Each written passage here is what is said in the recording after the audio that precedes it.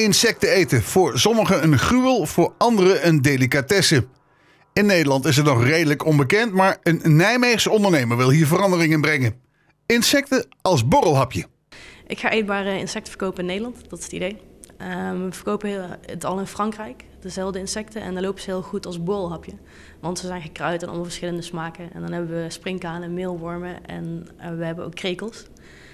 Uh, we hebben negen verschillende smaken en ze passen heel goed bij een biertje of als tussendoortje. Ze zijn ook veel gezonder dan chips. En ja, ik ga dat groot maken in Nederland. Dat is het idee. Ehm, ze zijn gekruid en negen verschillende smaken. Ze zijn natuurlijk, ze smaken gewoon heel goed daarom denk ik dat deze insecten die wij verkopen wel gaan lopen. Um, uiteindelijk willen we ook naar meer. We hebben ook repen die we verkopen. Er komt een pasta aan. Um, en het moet gewoon geïntroduceerd, worden in je normale voeding. Dat is het. Het moet gewoon makkelijk bereikbaar zijn en het moet niet te exclusief zijn. Je moet het niet alleen via internet uh, kunnen kopen. En als je je pasta gaat maken, dan moet je de keuze kunnen hebben tussen normale pasta of een pasta met extra insecten-eiwit.